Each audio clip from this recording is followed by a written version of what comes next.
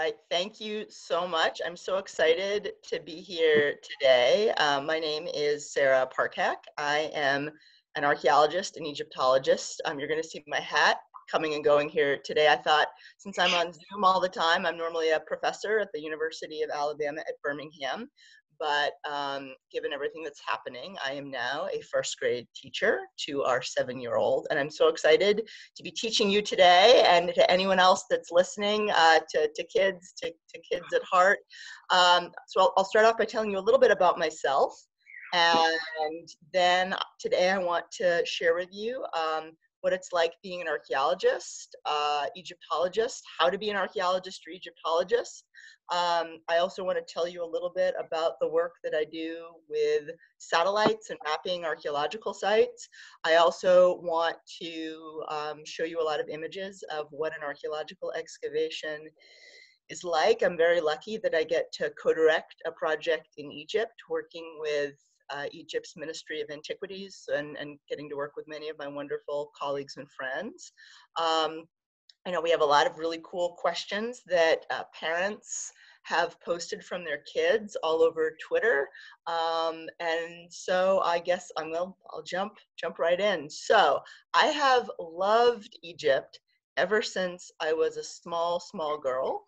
Um, I can't tell you why this was in the 1980s. So long before uh, the internet, long before you're being able to watch videos online, I credit my love uh, to National Geographic magazine. We get stories, um, not quite every month about Egypt, but often. And you can see behind me on Zoom, I figure if I'm gonna be on Zoom lectures a lot, I'm gonna get to show images of Egypt. So this image behind me is an image of the uh, palm groves of the fields right next to the archaeological site where I work. And I'm actually dressed like an archaeologist right now. I'll kind of show you a little bit. Um, so of course, the most important thing is you have to wear a hat because it's so hot. We wear lots of sunscreen. Uh, we don't want to get skin cancer, so it's, it's essential to wear a hat. Um, you also have to have a scarf which is what I have on right now. I like to get my scarves from, especially from uh, women, co uh, female co uh, owned cooperatives that work close to the site. And we wear scarf because it helps to protect us. And also there's often dust on site. So you can just, kind of like a bank robber a little bit, you can protect your face and it's plus it's stylish, right? Uh, I also have um, button down button down uh, Columbia shirt. I'm not endorsing Columbia specifically, but it just happens to be the one I'm wearing. You want to wear clothes that are protective, but also um, respectful because Egypt is a more conservative country. So we don't wear shorts on site. We don't wear t-shirts. Uh, we wear long trousers, oftentimes long shirts. I'm kind of it's a short sleeve shirt. You can or shorter sleeve shirt. You can wear them, um, but we would we would never wear shorts on site. Uh, we also wear hiking boots. Um, there's a lot of uh, sharp rocks you'll see in the videos I show in a little bit. Um, so I have been an Egyptologist for um, 15 years. I've been very lucky. I've not only worked in Egypt, I've gotten to work all over the world, uh, but mainly I'm an Egyptologist. That's where my, where my love is. I first got to go there actually exactly 20 years ago. So I guess I want to talk to you a little bit about how to be an archaeologist because that's a big question that I often get from kids, um, kids of all ages. Uh, first of all, the most important thing to be an archaeologist, and it's kind of a boring response, but you have to work really, really hard in school. Um, because archaeology now, it's not just about history and digging in the dirt, it's become much more science. So you have to study chemistry and DNA and physics and math and geometry. I did not understand how important geometry would be for archaeology, so thank you to my geometry teachers, um, and I'm sorry that I ever asked why it was important. It's really important. Um, you also have to really love reading, because the most important thing for archaeology, it's not that you're excavating dirt, it's that we spend a lot of time excavating in the library. We're looking for information. We're looking for clues. We're looking how to put all the data together um, to tell stories. So that's the other thing I want to um, I want to share with you today is how we archaeologists take little bits of information and put them together to tell better stories and ask better questions about the past. You know, I say in archaeology, we don't look for things, um, we we we're essentially looking for answers to questions. Um, so we're not looking for treasure. The real treasure is the information that we get out of the archaeological record. So before I dive into all that, I want to tell you a little bit about the work I do with satellites, and I'm going to see if I can do this without. Oh, there's definitely small child yelling in the background. So, yes, so the first image I want to show you is kind of an iconic image from almost 100 years ago. So what you're looking at here is Howard Carter, and he is working in the tomb of Tutankhamun.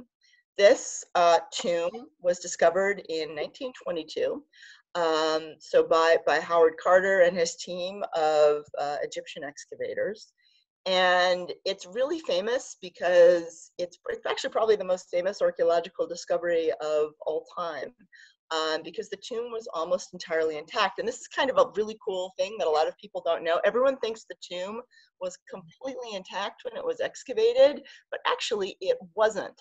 Um, what happened was when the burial party went in to bury Tutankhamun, they helped themselves.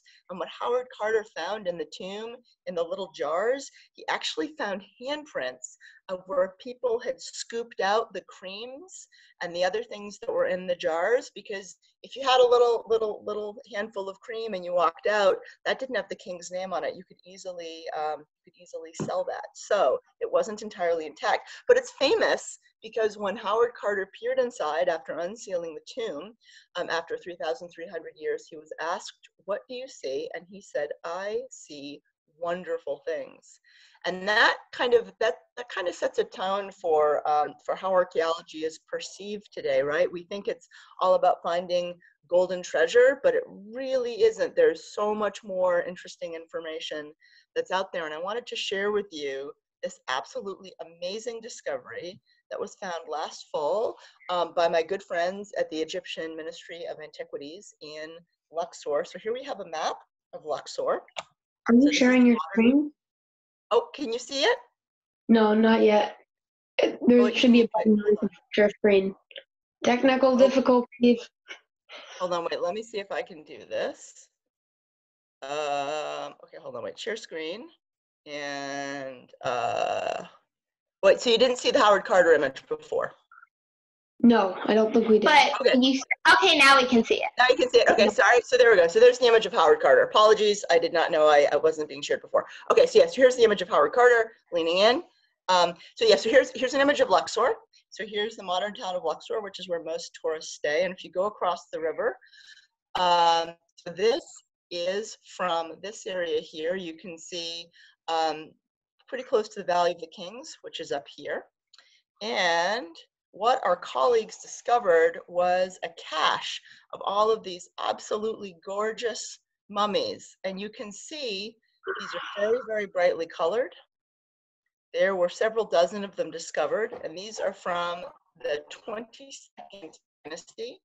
Um, and you can see here this particular kind of coffin. There's Dr. Khaled Al-Anani, who's the director of Egypt's Ministry of Antiquities, and they're stacked one on top of the other. So I, am often asked, you know, how much is there left to find in Egypt? And the answer is, I think we've only found uh, 1% of all there is to find in ancient Egypt. You can see here this amazing image with Egyptian conservators, the media, uh, back when we could all stand closer than six feet to each other.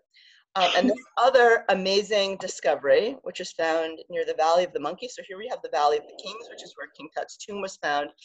And my good friend, uh, uh, Fifi Rohim Afifi, discovered a new workman's village. And to me, this is so incredibly important because you know I'm interested. I'm a settlement archaeologist, which means I'm interested in the stories of everyday life from ancient Egypt. And what he found was the first workman's village that's been discovered in 100 years. It's only the second one that we have. And these, this, this place, these houses are where people stayed who were actually building the tombs in the Valley of the Kings. And you can see all of these beautiful objects. So they were workshops, so they were putting things together to put into the tombs. And this is the other workman's village that we have. It's from a place called Deir el Medina. Um, and so it's, it's just these amazing discoveries keep keep getting made. All right, so I'll see if I can get out of our, whoops. Okay, there we go. Um, all right, and stop share. There we go. Okay, so I'm back.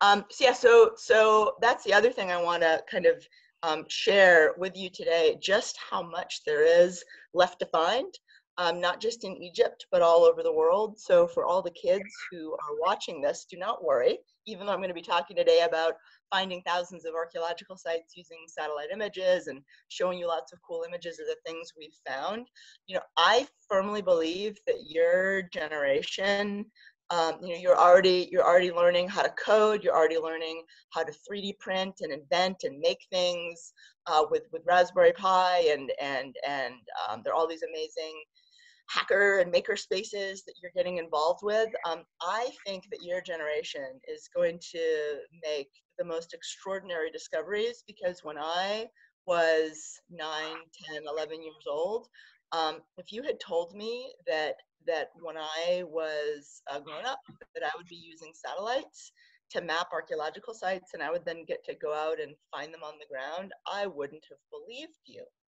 So think of this, think, use your imaginations and imagine the most wild things you can. You know, things that you invent, thing, invent things that you've seen in movies. And I'm not a betting person, but I would bet money on you or anyone watching inventing those things and getting to go map and, and excavate sites. So I'm really, really excited about everything that you're going to find. I hope that you'll take take me with you on digs. Um, maybe by then I'll be I'll be retired and I'll just get to go from dig to dig. That would be super fun. So all right, so now what I want to do, let me see if I can get this up and running. See, share screen and share. There we go. So I want to tell you a little bit about um, what it means to use satellites and other types of technology to map ancient sites. So the really fun term for this is called space archaeology. And I'm not making this up. And I did not invent this term. That was actually invented by NASA. NASA coined the term space archaeology. So what does it mean? Does it mean we're looking for aliens? No, we're the aliens. It means that you're pointing satellites and other aerial platforms um, on, on helicopters and drones and UAVs back to planet Earth, and you're using it to map archaeological features. Why is this important? Well, so many archaeological sites and features get buried, you know, over time. Think about this. Think about a house that gets abandoned, and think about um, think about what happens to it over time. And slowly, the house collapses, and the wind blows and it's covered with dirt and maybe vegetation starts growing on top of it. And that can happen over 50 or 100 years. Well, imagine what would happen to a whole town if it were abandoned and it were covered over by hundreds and hundreds, if not thousands and thousands of years. How would we find it? And that's what archaeologists use satellites for. We're looking for subtle differences on the surface of the earth we're looking for slight differences in vegetation type and soil type, uh, and we're mapping them using different parts of the light spectrum.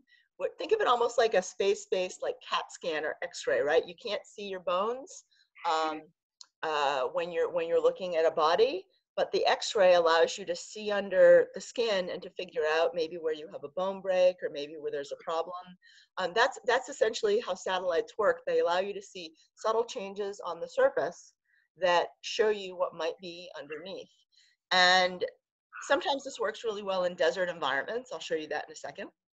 Um, but where it can work incredibly well is in places um, that are covered over by trees. We can't see through trees with satellites, but what we can do, see if I can get that up and running. There we go. So this is work being done by my dear friend, Dr. Damian Evans, and he works at a place called Angkor Wat. And this was the capital of the Khmer Empire over a thousand years ago, and they built all of these extraordinary temples. Um, you'll often see the main temple at Angkor Wat reflected in in a in a lake. Um, beautiful, beautiful temples. But the main problem is that so many of the buildings surrounding the temples are covered by trees. You see that here you can't see through them. So this technology called LIDAR, which stands for light detection and ranging, can be flown on a helicopter or an airplane. And it sends down millions of pulse beams of lasers um, that allow archaeologists to basically strip away the vegetation. And so you see these before and after You see all of these houses and structures that you simply can't see because the vegetation is there. Um, this, this work, um, this is from Guatemala in Central America. And as you all know, there's a lot of um, rainforest cover in Central America. And this is, a, this is where the Maya lived. Maya had a massive empire, um, sort of a, a, a, series of connected city-states, um, but it covered a huge area and it's mostly covered by rainforest. And so what my colleagues have done, uh, these are my friends Francisco Estrada Belli and Marcelo Canuto at Tulane University. Um, so this is part of something called the PACUNAM Initiative. And they've used LIDAR connect, uh, collected from airplanes and they've been able to take away all the vegetation to get what's called an elevation model. So these are perfect models of everything that's there beneath the rainforest, and you can see very clearly where all the buildings are. Wow. So what I want to do next, it's pretty cool, is that they found over 60,000 new features um, at uh, at the site of Tikal, which if you've seen the uh, the last Star Wars movie with all the it's the Rebel base on Endor, um, so a little bit of nerd, a little bit of nerd trivia. Uh, so that's kind of fun. Um, so now I want to switch to Egypt to show you how this can work in terms of mapping whole cities. Hopefully we can get this work. So we're gonna we're gonna zoom in on the archaeological site of Tanis, which um, of course everyone seems to know from from Indiana Jones. But the archaeological site of Tanis is so incredibly important. It was Egypt's capital about 3,000 years ago, so from around 1000 BC. You can see the site here. And French archaeologists have been working there um, for over 100 years. And you can see this is a temple to Amun Ra. So there, has been a lot of archaeological work here. But the main capital of Tanis is down here. So this is a huge, huge, huge site. Here we have the modern town of San al-Hagar. Thousands of years ago, the Nile River would have flowed right here. Anyway, so let's have a closer look. So we got high resolution imagery and processed it. And you're going to see a before. And now you're going to see an after. Everything you see is just below the surface. so here we have what could be a palace. Here we have buildings and other structures. And you can see very, very clearly the outline of the ancient capital city. And I want to say I'm not the only one doing this. Hundreds and hundreds of my colleagues are doing this work. zoom out, I'll stop sharing. Um, so colleagues of mine are doing this work across the Middle East, so in Iraq and Afghanistan and Jordan and Peru and the United Kingdom and India and China and Australia. Um, this work is being done all over the world. Um, and what it allows archaeologists to do, it's a starting point, right? You, you, you absolutely have to go out into the field, you have to excavate, you have to survey, you have to map anything you find. But it's great because before, you know, we had aerial photographs, but they were hard to get. You had to use an airplane. And what's helpful with satellites is that they allow you to pinpoint exactly where to go. And you can start that satellite work, um, you know, back, back in your home long before you go into field. So now what I want to do is share with you what it's like um, excavating. So how does that work? How do you organize an excavation? What is it like in the field? Uh, what do you eat? Where do you go to the bathroom? All the big questions that uh, we, we often get asked. Um, so first of all, I want to emphasize that, uh, that, that archeo archaeological excavations happen because of teams. You know, I just happen to be the director of, or rather co-director of the project. It means that I'm the main organizer. It means that I'm responsible for the money. And more than anything else, I'm responsible for the health, safety, and welfare of my team members. But it's not me. I don't get credit for the project. I work with dozens of specialists. I work with a large team of Egyptian collaborators. I work with large numbers of local villagers that are paid.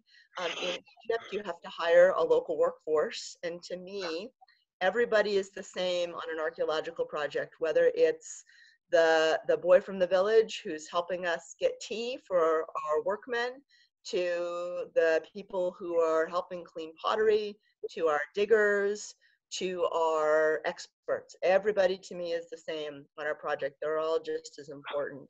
So what I want to show you first, if I can pull this off, is what a dig looks like. Okay, here we go. So what you're going to see uh, is, I'll give you a little bit of background first. Zoom down a little bit. Okay, so. We see it yet. Did you share the screen? Yeah, I'm just hitting the button. Okay. There's the screen. And there we go. Okay, so this is an archaeological site um, that is about two hours south of Cairo. It's called the site of Lisht. There we go. And so what we have here is the pyramid of Amenhotep the First, and here we have the pyramid of Senwosret the First. And this archaeological site dates to about 3,800 years ago. So this is a period of time known as the Middle Kingdom of Egypt. Now everyone knows the Old Kingdom because of the pyramids of Giza, right? So that's roughly 2,600 um, BC or 4,600 years ago. Most people know the New Kingdom of Egypt because of King Tut. That's roughly 3,300, 3,500 years ago. But this is a time period in between from 3,800 years ago. So um, why is this site important? Well, first of all, the capital of Egypt is somewhere in the floodplain. It was called Ich Tawi, which means the seizing of the two lands. It was founded by Amenemhet I during this period of time known as the 12th dynasty. Now, why was the Middle Kingdom important? Why should we care about the Middle Kingdom? Well, first of all, if you take hieroglyphs, if you take Middle Egyptian when you are at university or you start learning, which you can do, by the way, I might be happy to share some, some references and resources, you are probably going to start by learning the same language that was developed during this period of time. So this was Egypt's great Renaissance period. So the, the writing, the art, um, the architecture, uh, in my opinion, during during the Middle Kingdom um, was was exquisite. So you're going to see a lot of images today from our excavation that really show you um, just the extraordinary art that was done during this time period. Many of the stories that we have from ancient Egypt. So the story of the shipwrecked sailor, the story of Sinuhe. Like I said, I'll, I'll be happy to share those those um, references for, for folks reading at home so that you can read ancient Egyptian stories in translation. They were probably written at this site. So this was a, a, great place for um, for creativity and for art. The two kings that co-founded, that co-ruled together. So Amenemhet the first was Senwosret the First's father. They were co-regents, which means they ruled together. Um, they lived in the capital in a, probably a beautiful palace. And the thousands and thousands of people who would have um, lived and worked in the capital, so as artists, as administrators, as writers, as soldiers, as the people that weaved and baked the bread, um, that worked in the palace. They were all here together and they were all buried here. So at Lisht, which is the modern name of the site, um, there are thousands and thousands of tombs of all the people that lived and worked in Egypt. So I'm going to see if I can show you. So what you're going to see now is what life looks like on an excavation. Our team working. So we're working in a tomb of a gentleman named Intef, who was a soldier and a general under the First. So you see our Egyptian team very carefully working. They're scraping down the mud brick.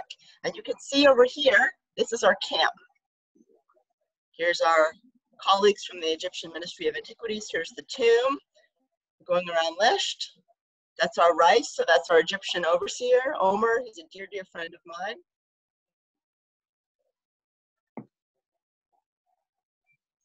There's my husband, Greg, working and measuring.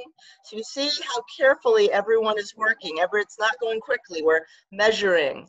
We're, uh, we're working carefully. We're supervising. We're always communicating. We're talking very, very carefully. I'll show you one more video to give you a sense of. So here we are removing some of the overburden in Intef's tomb.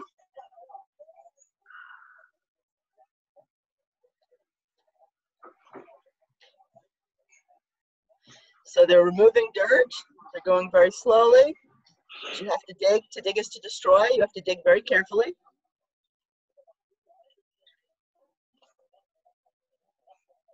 And you can see these gentlemen wearing turbans here and here. You can see them supervising our workforce. All right, I'll stop sharing for a second so I can talk to you. There we go. Um, so those, those gentlemen are called guftis or kuftis and they are part of a professionalized Egyptian um, excavation uh, force. Um, they're archaeologists, they're managers, they're, they help with conservation, they're extraordinary, and they've been working with archaeological projects going back 150 years. So the gentleman I showed you, Omer, you'll see him a little bit later. So he's sort of my counterpart. So I help with, so I'm responsible for money, for uh, well-being, for general, for, for, for management. I'm sort of like the, the general or the CEO. I manage a group of about 100 people. Um, so for all the, the young women that are watching, uh, women can and should be in charge. It's important. Um, the buck stops with me. Um, I take my job very seriously. Um, I like to have fun on my projects, but all you know, I like to create an atmosphere of, of respect. But also, um, it is it is a heavy responsibility. You know, making sure that everyone has enough food, is safe. Um, you know, when my workforce is working in in conditions, say they're working deep in a shaft, um, that that doesn't isn't wet where there's a lot of dust they wear ventilators they wear protective gear um, in cases where that's not needed they they don't but i take that very seriously. Um, but my my egyptian counterpart omer he's responsible for managing the workforce. So every day he takes roll he makes he sees who's there who's not there he helps with payment he helps with procuring equipment. And you couldn't really hear me there. I think there are maybe some clips later on where i'm speaking arabic it's really really important that you learn the language of wherever you're working. So I'm going to teach you a little bit of Arabic right now. Teach you two phrases of Arabic. Um, so in the mornings, um, when you get on site, so we get up pretty early. We get up at about 5:30, uh, 5:45 for the drive to site, and that's in the winter. In the summers, we get up at 4:30 in the morning because in Egypt it's really really hot, and you want to be on site working by six o'clock because by two o'clock it's too hot to work put in your eight hours, and then you go home.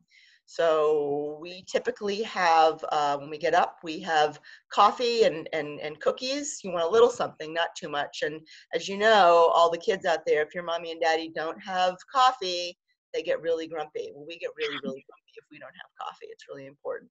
And then on site, by about 9.30 or 10 o'clock, we get really, really hungry. So we have something called second breakfast.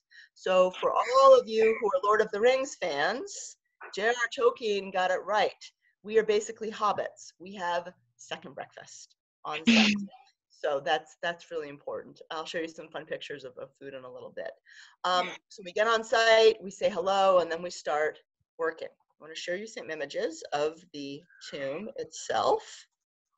Let's see if I can share screen slowly getting the hang of it. All right, so this is what the tomb looked like when we started excavating uh, back in 2015. And it may look a little bit funny to you because you've got this open area and everyone's working. Well, this tomb, it's called a T-shaped tomb. It's for classic tomb from the Middle Kingdom. So you can see the upper part and this would have been the causeway, this would have been the hallway. And originally the tomb would have had a roof on it. But over time, because of earthquakes and quarrying, uh, the stone has been removed. You have these niches in the back, which you'll see more of in a few moments, and we're just starting the work. Now, initially, we didn't think we'd find much because the tomb was so heavily looted. After the Arab Spring in 2011, a lot of tombs, a lot of uh, sites in Egypt were badly looted, but we were very, very lucky. In 2015, we found the name of the tomb owner. You see it here. This is Intef, so that's the Egyptian sign for yin, so yin and that's a t and that's a fa. So Intef was his name. Intef was a pretty common name um, in the Middle Kingdom. It's sort of like Michael or John now. And you can see here, this is Intef. You're going to see more images of him in a bit. And you can see the amazing, amazing art that would have been around uh, back then. All right, sorry, whoops, drop that. We were very, very lucky when we were excavating. We actually found some blocks that were in place you can see here um, images of soldiers holding bows and arrows and spears. You see the name of one of his sons, Senusret, and we see here his name, Intef Mes Ipi. And why that's so important is that Ippy was the name of his mother. We only have a couple examples of this from the Middle Kingdom. It's not like super, super rare, but it's also not really common either. So his mother was very, very important to him. Um, on excavations, what we do in addition to um, excavating is we, we map very, very carefully everything that we find. So we took hundreds and hundreds of points. If you remember from that video, there was the gentleman wearing the blue shirt who was carrying, uh, carrying around something to map. Um, so he took thousands of points and this is what the tomb looks like. You can see here and you get a much better sense of the fact that it's a T-shaped tomb and you can almost imagine the old roof on it. So excavating over time, um, this is what the tomb looked like in 2017. So we went back in 2015, 2016, and 2017. And that's what the tomb looks like, almost Uh-huh. completely excavated. And you can see here, all these holes, these are called shaft tombs. So what happened was there would have originally been pillars, six pillars here. This would have been a column tall. And this is actually Intef's tomb which is really cool. And there are a whole series of other tombs as well. There would have been a causeway leading down to the Nile. Um, you can see one of our Egyptian core staff very carefully mapping and measuring everything. This is one of our blocks. Um, so this is called, when we say in situ, it means in place. And this is a little offering table. So you can see images of vessel, uh, little, little ancient Egyptian vessels. They would have poured things in here to offer for the deceased. So this is a cemetery. And here you have our amazing Egyptian crew removing a stone. And I want to show you that video. So let's see if I can get that up for you. So they're in the process of removing a stone that's been in place probably for a very long time.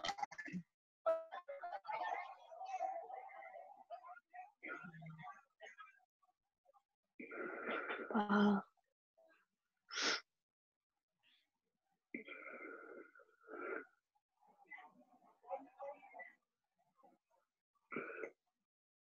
All right, so there was Omer um, telling me telling me what to look for, uh, and this is the stone that they're removing. And why it's cool is that it ultimately led to the discovery of this, which is in Intef's tomb. Here's Omer working away. So you can see how important teamwork is on an excavation. It's not one person that's making a discovery, and that's unfortunately what you often see and read about in the news. This this myth or mythology of the sole discoverer. But that's something for, for all the kids who are watching out there and all the parents. I want you to see today just how important it is that whenever a discovery gets made and you read about it in the news, it's never the, the director, it's never the author of the academic paper. It's actually probably dozens, if not hundreds of people that have helped to make that discovery. So here's what it looked like the end of our season. You can see all this mud brick, Wow. the tomb, and there, there would have been three niches in the back. And what we're doing here, um, so the other really cool thing about um, working with local villagers is that they are um, often using techniques that have been in practice for thousands of years. So the ancient Egyptians were really, really good at making mud brick. That's what you saw at Tanis. That's what the outlines of all those structures were. Those are mud brick foundations. And here we have one of our local villagers who is making mud brick because we are making new bricks to put on top of the tomb to help with conservation, to help with its protection. Now, I want to show you some really cool objects as a bit of a surprise uh, and, and fun to, uh, to show you what things look like on an excavation. So here we have the face of Intef. This is moments after it has come out of the ground. Um, so we're the first people looking at this in almost 4,000 years. And you can see just how brightly painted it is. So we don't just pull objects out of the ground. When we excavate them, we carefully map them, we put them in place, we draw them, we photograph them, and then we carefully remove them. We put them in bags, we tag them, because then they go to our registrar. That's the person who registers the objects. They go to our artist. That's the person that draws them. They're carefully logged and then they're very carefully stored in, uh, and they go to the conservator. So the conservator is the person who conserves them, and then they're put in storage uh, at a Ministry of Antiquity storage facility. So what I'll do, whoops, skip ahead a little bit. I want to show you another video. There we go. Here's working in one of the shafts. And this one is pretty, it's, it's not too dusty, so it's not, not dangerous. And you can see how deep we go. Sometimes we go 15 to 20 feet deep or more. Here are our Quftis, here are our work staff, and you see just how carefully everyone is working. Safety is the most important thing. And what we think, we haven't been able to finish this because we, we just ran out of time. That often happens on excavations. Uh, but another five or six meters down, we think this tomb could potentially have a coffin and other bits of material culture. And I'll show you. Oops. There we go. Close that out. I'll show you some of what I mean here. There we go. Right, so here's some amazing things that we found during our excavation. Here's an eye that actually was in a coffin. Here is an intact, whoops, here's an intact pot that we discovered. So these little pots were put in place. These were offerings that were made by people who visited the tomb thousands of years ago. Here is a soldier. You can see just how brightly colored these are. And these would have been parts of little statues, um, uh, wooden statues that would have been placed as offerings in the tombs. So, and this to me, this is one of my favorite things. You can see just how brightly colored this painting is. Um, this is from an offering um, scene, so there would have been um, there would have been scenes of, of, vegetation, of birds, of offerings that would have been made by people who visited these tombs a long, long time ago. I have one more video to show you. And then we're going to turn it over to questions. Okay, so the other question that I often get asked is how did the ancient Egyptians build the pyramids? How could they have moved those stones? Well, I offer you this proof. So our work crew, we have a lot of heavy stones that we remove, and you can see how carefully, so the stone is probably about five or 600 pounds. You can see it's about nine or 10 men, and they've got to remove it from about eight feet down on this ramp.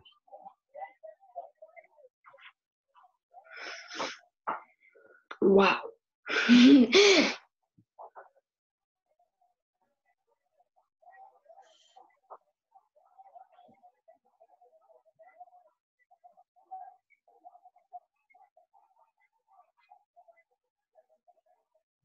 All right.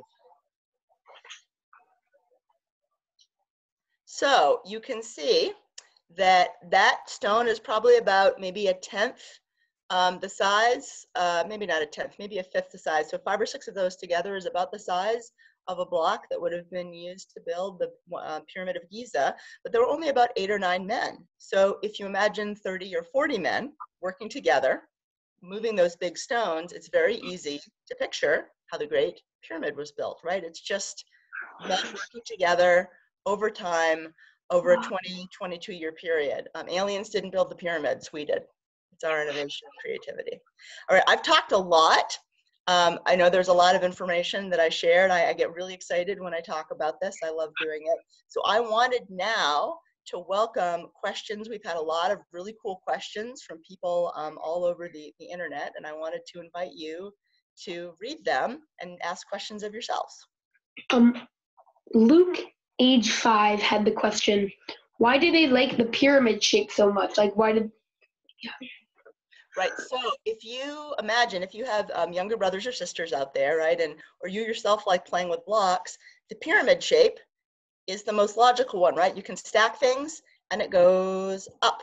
For the Egyptians, it was a symbol of the sun, uh, but the pyramids, that, that shape, that design, didn't get designed overnight, right? Um, it, it, it slowly evolved over a 500 to 1,000 year period. So initially, the Egyptians put burials in the sand. Pretty simple, pretty straightforward. Um, and then they realized this would have been five, six, seven thousand years ago. Um, but they had to protect the burials because animals were digging and, and, getting the bodies. So they started covering them, maybe with stones, um, maybe with, with, with mud bricks that they made. And then they realized they actually had to put the bodies deeper and deeper and deeper to protect them. Well, again, pretty logical. No, no big, no big leaps ahead. No aliens. And then they started covering the bodies and started making little markers and small tombs.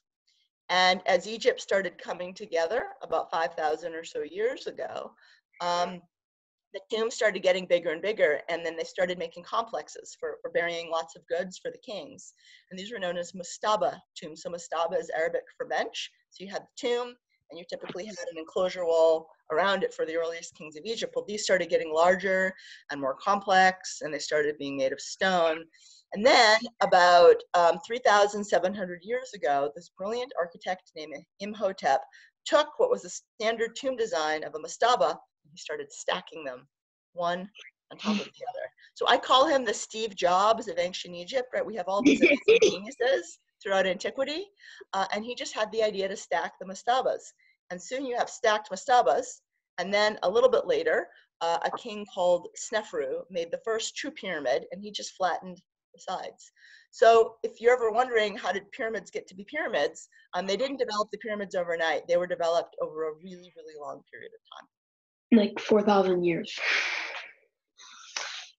So on to the next question. River at age seven asked, why do you dig up what their ancestors built? Don't you think it will upset them? Do you? And then he had an added on question is, do you make sure you don't destroy the special things they made? That's a great question. So, so that gets into an area that we call archaeological ethics. Ethics means um, you know, is it is it a good thing or a bad thing what we're doing? And we think very carefully about the fact that we are excavating the graves of ancient people. So first of all, you could see just how carefully we were excavating we weren't you know we're not digging and taking everything. We're working very carefully we're digging in a scientific way we're measuring we're mapping we're recording we're taking pictures. We have uh, detailed excavation books that we're using to write down all the information. We're taking pictures. We are conserving everything. We're carefully drawing everything. We're carefully storing everything because what we're doing is we're studying it in order to put all the pieces together to tell the story of what happened on site. So we typically work um, on our project. I didn't have any pictures, but we have someone called a bioarchaeologist. And a bioarchaeologist is someone that studies human remains. We find a lot of bones on our project because we're working in a cemetery. Uh, and what bioarchaeologists do is they study the bones to learn about gender, about or sex, to learn about disease, to learn about health practices, diet, trade. There's so much information that we can get out of um, learning about the past. So be we really have to be careful. We have to be respectful, um, and to the best of our ability, you know, tell these stories. Right? I imagine what stories would I want told about me? How would I want people and the archaeologists in the future to um, to excavate me? How would I want myself to be um, to be dug up. So that's really what I think about when I dig. Uh, and sort of to the second question, um, you know, we we're just really careful when we excavate objects. We record everything, um, we map everything, and we put all the pieces together um, to try to tell stories. You know, we know Intef was a really famous general. He was uh, the overseer of the treasury, and we we didn't know about him before. It's the first time that we have discovered uh, information about this this whole new person from 3,800 years ago, and we hope to find out more when we go back in the future. Um, another question from Georgie, age six, was how do you find your way around and breathe while you are in the middle of a pyramid? And breathe. So that's an important question. So, so pyramids are often open um, there's air going down. Uh, but sometimes when we go inside an old, old pyramid that's not typically open um, for the public, there are a lot of bats and there's a lot of bat poop, so bat guano, which isn't good for your lungs. So we wear masks. Um, you know, breathing is really important. You know, there are a couple of pyramids at the site of Lisht that we're hoping to do some work on in future. And when we go inside, we're definitely going to be wearing uh, very heavy duty masks and protective gear uh, for anyone that goes in, workmen to, um, to, to, to, to the core, core staff. But, you know, for example, if you go inside the, the Great Pyramid at Giza and so many other pyramids, you don't need to wear a mask. They're very clean. Um, you can go inside and, um, you know, just, just visit as a tourist. And I hope everyone uh, visiting today gets to, gets to visit someday. It's amazing to get to go inside a pyramid. Yeah. So the next one is Harry, who presents herself as female at age 11. She asks, "What research do you do you do in libraries as well as looking at in libraries as well as looking at images and space?" And then we have another question, which is Sola uh, after that. So. Okay, no problem. So yeah, so so before you go on any project, so the first thing we have to do is we have to get funding to go excavate. Um, I've, I've excavated my own couch for, for money for projects and I found about um, 25 cents. So that doesn't get you very far because you have to pay for plane tickets for all your staff. You have to pay your workforce. You have to pay for food, hotel, transportation, equipment, um, fees. There's a lot that goes into any project. So the first thing we do is we apply for funding. So we apply to the National Science Foundation, the National Endowment for the Humanities, National Geographic. We get a lot of money from private donors to help support our projects. We're just so grateful. There's so many people out there that, that are willing to support us. Um, and what you have to do is you have to write a detailed proposal. So you can't just say, give me the money, give me the cash. I mean, we joke about doing that, but you can't do that. You have to write a serious proposal. Why should they give you money? Why is the site important? What are the questions that you're going to be asking about the site? Why does it matter? What's your plan? How will you use the money? How will you gather all the information? What scientific tests will you be doing? Um, so you have to think very carefully about your, your project work. Also, alongside that, you have to put in an application. And this is the same, by the way, for every project all over the world. You can't just show up and start digging on a site. It's pretty much illegal, right? That's looting. That's illegal. You can't do that. So you put in an application, in my case, to Egypt's Ministry of Antiquities they take very seriously the permitting process. So you have to put in uh, your proposal to them, sort of like a grant. You have to write a lot of letters. You have to give the, the CVs of your team members. Um, you have to, of course, you can't just show up and, and apply. You know, it takes years and years to build the relationships that are necessary um, to do project work in Egypt. So I, I'm very active on social media. I'm very active on Twitter, on Facebook. Um, so, and, and, and I'm constantly um, speaking to my colleagues in Egypt. I'm constantly Skyping them. I'm constantly um, on the phone with them because preserving these relationships, building these relationships and friendships to me is, is, is more important than the permit. It's all about relationships to be able to do really good project work. So it takes a long time and a lot of this involves work in the library because I now have read so many articles about Lisht. I just don't want to work there. You know, it's a site it's a site where I hope to be working for a long time. Um, so, so I want to know everything that's been done. Um, with the Metropolitan Museum of Art in New York, worked there for a very long time. So I've read all their reports. I've read books. I've read articles about um, other projects that have worked at Middle Kingdom sites across Egypt. We look for things called parallels. So in other words, I found this pot on the site. How many other archaeologists have found pots just like it all over Egypt and potentially elsewhere? Um, and so for, for me, one of the reasons that I was drawn to Lisht is because we did a lot of satellite mapping and we used radar data and we found the old course of the Nile going by um, the edge of the desert. And so we've been able to do some augering work or coring work and we found a bunch of pottery. So we're pretty sure that we have a good sense of where the capital city is of Itjtawy buried beneath the floodplain. Um, and hopefully we'll be going back soon to do more work after, after the coronavirus passes. Um, so next question. Okay. Um, from Thula, uh, age seven, asked, "What did you learn about archaeologists before you decided you want to be one?" Um, uh, they have an archaeolog. They have an archaeo. She has an archaeo. She has an archaeology club at school. And um, did you? Oh man, if only I'd had an archaeology club at school when I was a kid. That just would have been the dream. Um, sadly, there was no archaeology club. Sadly, um, I grew up in Maine, and most of my digging was done in the snow and in my grandparents' backyard in sandboxes. So I did not have any excavations. All of you kids today, you're so lucky. There's World Archaeology Day, which is in the middle of um, October. Um, I'm a trustee of the Archaeological Institute of America. So parents that are watching that want to find out more information, go to archaeological.org. Um, there are all these amazing online um, uh, clips, uh, stories. Um, you can be, become a member of the Archaeological Institute of America, get information. There are tons and tons of dig days that are held at museums. and parks around the country uh, where you can volunteer and participate, which is awesome. Um, so yeah, there, there, there's so many more resources now than when I was a kid. Um, you know, of course, I, I dreamt about Egypt. I read about Egypt. I read about archaeology. Every time there, there was a documentary on PBS, I watched it. But most of my learning was done in books um, before before I, I got into archaeology. The internet really wasn't around when I was a kid. Um, so I kind of came to it when I took university classes. So all of you today are so lucky. There are so many more resources that are out there. Uh, so Gwen, age seven, asked, Gwen. Gwen, age seven, asked, What do you find when you dig? And what are you looking for? Great question. So we find all sorts of different things.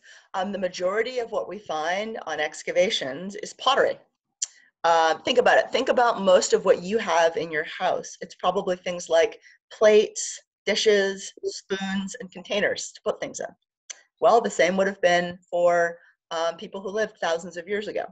Um, they would have had their plates and their cooking utensils and their pots and their pans, but not put pots and pans, right? They would have had they would have had a lot of pottery, um, and that's the majority of what we found. We found thousands and thousands of pottery sherds, um, and our pottery specialists look at them. They organize them. Um, we don't tend to find you know as many objects as you might think. Although if you're working in a tomb, you do find more. If you're working in a household setting, um, you find uh, objects from everyday life, so things uh, that people would have used for weaving, uh, needles for sewing. Sometimes, if you're working in the desert, you find little pieces from clothing.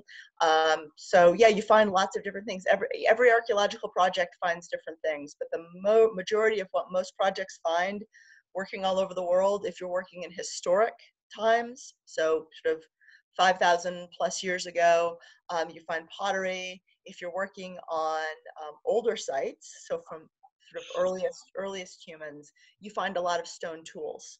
If especially if you're working in, in cave sites, um, stone tools. So arrows, uh, choppers, uh, things for cutting, things for processing meat. You also find a lot of uh, animal animal uh, bones, the things that ancient peoples would have would have eaten. Um, I had something to add to that. We uh, I actually have we have firsthand experience with digging. We were in Israel, and there's a program called Dig for a Day because they have so many archeolo- archaeological sites. You can pay them to actually dig for a day, and we fa- and my sister found like an entire clay oven or parts of it with my dad, and a lot of pottery. See, you know, you know, I'm telling the truth. That's awesome. Yeah, I've heard friends of mine have gone. Um, you know, it, it, the Israel Antiquities Service has this, this, really great program. It's very high. I'm, I'm pretty sure when you went, that, like you were you were pretty seriously supervised, right? Like there were specialists yeah. there to help you. Yeah, uh, I know. For example, England, the United Kingdom, um, they have a really active public um, archaeology volunteer program. So there are programs where you can go on the weekend and dig, even if you're a kid. There's this amazing program online that I encourage everyone to check out. It's called DigVentures. Um, so there are volunteer programs where you can sign up to dig. Um, there's this amazing thing that I got to do for the first time a couple weeks ago called mudlarking. Um, so along the banks of the Thames River in London, um, if you have a license, you can go along. I just just observed. Um, you can actually pick up bits of pot because London has a 2,000 plus year history, or longer than 2,000 years, and all this evidence kind of washes up along the banks of the Thames and with the tides coming in, it washes up all of this, these bits of pot. So yeah, so there are a lot of uh, museums, there are a lot of uh, um, National Park Service sites where you can go and observe, if not excavate. So yeah, I encourage everyone who's watching to uh, to learn more, to um, to potentially volunteer, because it's a great way to learn. I would have, you know, would have loved to have started learning when I was eight, nine, ten years old. Uh, uh, Ingrid, age seven, uh, said someone told me that the Sphinx's nose was knocked off by Napoleon. Is it true? So that is um, a, a myth.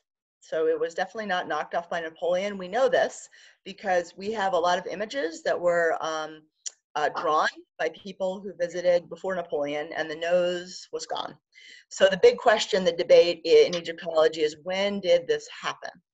Um, we don't know exactly. There are rumors that it could have been shot off maybe six or seven hundred years ago. Maybe the Mamluks did it. We, we don't know. It definitely happened before Napoleon, though. So, um, unfortunately. Cool. Our next, Talia, age nine, asked, "How did their civilization form, and who's the first ruler, and what's most exciting for you that you found? Like, what's the most exciting thing that you found?" So, an- ancient Egypt formed about 5,000 years ago. Um, so, it was, and to, to be honest, still is largely an agricultural country civilization. And slowly over time, the farmers, um, the people who were working the land, there would have been power centers. So the local rulers became more and more powerful over time. And as they gathered resources, as they were able to store things longer term, they focused on craft production. So that's, you see a real artistic tradition developing. And around 3000, sorry, around 3000 BC, so about 5,000 years ago, there was a king called Narmer who unified Egypt. So Egypt was divvied up into a couple of different kingdoms and he um, in kind of a great series of battles, basically unified all of Egypt. So he unified Upper and Lower Egypt. Uh, we know a lot about him because his tomb was discovered at a place called Abydos, it's about a six-hour drive south of Cairo. Uh, and that's really how the civilization started. It's, was the first king. It's really, really important. Um, and that's where kind of concept of Egyptian kingship started, and it lasted for 3,000 years until until um, the Ptolemies, until the Romans. Well, can you can you follow up with the second half of that question, please? Um, Yeah. So she also said, what was the most exciting thing for you that you found? Right. So that I get asked that question a lot, and it's really, really hard for me to answer because I'm so lucky. I've gotten to go on excavations in Egypt and Tunisia and Peru and Belize and here in the U.S. and uh, Europe. And I, I, I'm so, so, so lucky. I've gotten to go on all these projects, and I've gotten to find so many really, really cool things. So I say to, to people, the most exciting thing to me is the thing I haven't found yet. It's the next thing, right? Mm. Because to me, to, to dig is like it's the coolest thing I get to do. And it's such a privilege and such an honor. I try never to take it for granted. And getting to dig, you just never know what you're going to find with that next pull of the trowel.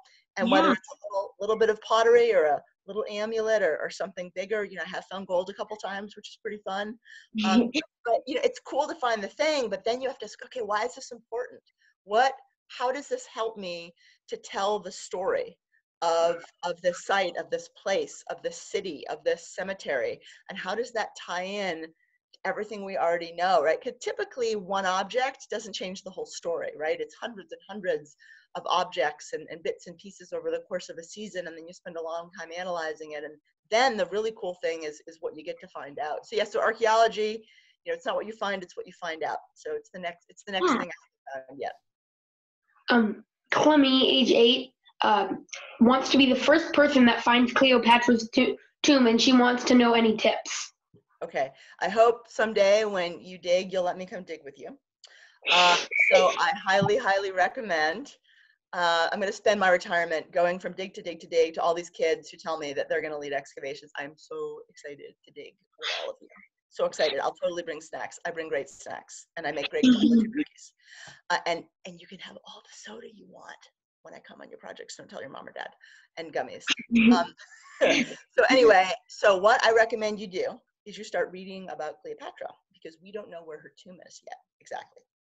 So the big question is where's her tomb? Is it somewhere in Alexandria, in the city, or could it potentially be underwater because there were a lot of earthquakes and a lot of the ancient capital city of Alexandria is currently in the ocean in the Mediterranean. I've seen all sorts of debates. I've read all sorts of papers. It's probably beneath the ocean, but I don't know. There are parts of the city where it could still be. So I recommend you read a lot about her. You should probably learn Latin and Greek. Really important to learn ancient languages. You have to know a lot about history. You have to learn a lot about science because you're not going to find her tomb using standard archaeological tools. You're going to have to learn how to look at satellite imagery, how to use ground penetrating radar. You may even need to learn how to be an underwater archaeologist. So you may need to learn how to dive and snorkel. You can start by snorkeling in your bathtub. I'm very sorry to your mom and dad because now you're going to want to snorkel and you're going to want to snorkel in the bathtub, but that's totally fine. All good exploration starts at home. Um, and uh, you learn more and more, and then you start developing questions and theories right? Because archaeology to me is a science. You have all these ideas that you want to test, and then you get to put in proposals and you get to test them. So work hard in school, study as much as you can about Cleopatra, and I'm very excited to be reading the headlines where you've discovered her tomb. I hope I'm um, and then Abigail, age six, asked, "Do archaeologists always dig?" So this is a great question, and the answer is no, we don't. Um, if you're an archaeologist, it doesn't necessarily mean you dig. There are archaeologists who are specialists in pottery, in stone, in human remains, in uh, plant remains. There are archaeologists who speciali- specialize in the conservation of archaeological objects and artifacts. There are museum curators who are really important. Some museum curators are archaeologists. Uh, there are some people who are archivists, so people who study um, records. There are people who study language. Um, so no, not everyone digs. Um, you don't have to dig to be an archaeologist per se. Um, there are lots of people who work on our projects that are essential for helping us process the material, and they're not digging, right? You know, they're looking at our pottery, they're looking at our bones, they're helping us with conservation, they're helping us with putting putting the bits and pieces back together. Um, so yeah, definitely, you do not have to dig to be an archaeologist. So Callie, age nine, asks has two questions. What drew you to Egypt, and how do you use the little things you unearth to find out the big picture stories? Great question. So I have been in love with Egypt ever since I was four or five years old. My parents do not understand why. You know, I grew up in central Maine in the 80s. There was nothing to pull me to Egypt. I didn't get to watch a show on TV. Um, you know, maybe it was National Geographic. Um, you know, like so many other archaeologists who are in their sort of 30s, 40s, 50s. You know, I, I watched Indiana Jones that came out when I was a small child. It definitely very problematic. Um, we talk a lot about how that's not real archaeology today by a long shot. Um, but you know, I, I, can't help that that was a formative part of my my childhood. Um, you know, that's just the, the truth. Um, but yeah, I just I was just drawn to Egypt from a very very young age. Um, so how do we put all the little things together? So what we do, we very carefully collect information about pottery, beads, bone, um, seeds. We look at the layers and layers of information. I didn't really talk about that today, but we very carefully go down layer by layer by layer. And then at the end of a season, we put all the information together. We look at all the analyses, and then we start looking at how the layers relate to each other and how the pottery changed, how the art changed, what objects we found. And we very carefully, it's almost, think of it almost like weaving together uh, a tapestry, right? We have all these little threads of information and we're weaving and weaving and weaving and at the very end, we only have little pieces of it. So we have to try to find examples from other time periods and other cultures uh, and, and, previous excavation work that's gone on. Um, and, and we use all that to try to put together a story and we do the best job we can, but the story is always changing. Um, as more evidence comes in, as we do more work on that side, as archaeologists find out new information. And that's why you're seeing so many new headlines from around the world because the story keeps changing. And to me, that's what's so exciting about archaeology, right? The story's not written yet. We're constantly writing and changing and, and making changes. And this will bring us to the last question, which was from a fifth grader. And they asked, What do archaeologists know about the Sphinx? So we know um, that um, that it was certainly uh, there's a big debate is the Sphinx um, 10,000 years old? No, it's not. You know, it was it, it, was built at the same time as the pyramids, the pyramid complex. Um, and, and what's really cool about the Sphinx, so we know the lion um, was like a protective deity for the ancient Egyptians. So we think of it like a big a big protective creature kind of standing there on guard protecting the pyramids. And the pyramids have been around now for um, goodness for um, 4,600 years. And what's really cool and kind of blows my mind when I think about it, we are closer in time to Queen Cleopatra, going back to the earlier question, than Queen Cleopatra was to the time of the pyramids. Isn't that kind of wild? 2,600 years versus versus 2,000 years. So they were already ancient when Queen Cleopatra was around. Um, so yeah, we know a lot about the Sphinx. Archaeologists have, have mapped it, have analyzed it, have assessed it. Um, there's a lot of great information there out there on it. I encourage anyone to, to look it up. In particular, there's a project um, being run by someone called Mark Lehner. That's L-E-H-N-E-R, and it's the AERA project, A-E-R-A. So if you look at, I think it's aera.org, and the project being done by Dr. Mark Lehner and his team. Um, he, they've been excavating the workman's village, so the, the where the people lived who built the pyramids and the Sphinx. Um, and you can read tons and tons about the Sphinx there. There are all of these amazing 3D models and 3D constructions. So yeah, we know we know a lot about it. I'm not Do you have any questions to, to kind of finish up? No, not really. You explained it well. All right, well, thank you. Uh, sorry, there is one more. One more, okay. If you want to read it. Uh, you can read it. Okay. Um, uh, have you been able to look at the uh, Chichen Itza where the ceramic warriors were? The what, sorry, can you read that again? Ha- have you been able to look at the Chichen, Itza where the ceramic warriors were? I see it like Yeah, so so yeah, so I'm I'm not a specialist in that part of the world. You know, I certainly read about the Aztecs, the Maya, uh, the Inca, the Chimu, the so many other cultures from around the world. Um, but I'm, you know, I uh, unfortunately there's there's so much to learn in so little time. That's why on Twitter um, I follow so many great archaeologists. I love learning about um, the diverse cultures of, of Central America, of South America. Um, you know, I love visiting different archaeological collections in museums. So I know a little, little bit about lots of different cultures, and I know a lot about Egypt. Um, and I've learned that my um, my brain can only take so much. It's hard enough keeping up with all the amazing discoveries that are coming out of Egypt, as you saw the start. You know, there's so many things being found all the time. But to me, that's that's what's so exciting about archaeology. There are all these amazing discoveries um, that keep getting made. Uh, you know, we're pushing back the date of, of, of us, of Homo sapiens. We know now, you know, before we thought we went back 100,000 years, then 200. Now there's evidence for Homo sapiens 330,000 years ago in, uh, in, in East Africa, which is extraordinary. So our story, our human story is, is, is still being told. We're still finding out more and more, and we're going to keep finding out all these cool things. And it's up to everyone listening right? There's some future archaeologists out there. I bet I'm going to be reading about some of your discoveries in just a few years. And with that, I think I'm going to end. Thank you all so much for uh, for listening. Thank you all so much. I hope you're all the parents out there are able to use this. I hope you're able to find um, some of the resources that I mentioned um, useful uh, and, and, and helpful. Like I said, go to the Archaeological Institute of America website, go to the AERA website.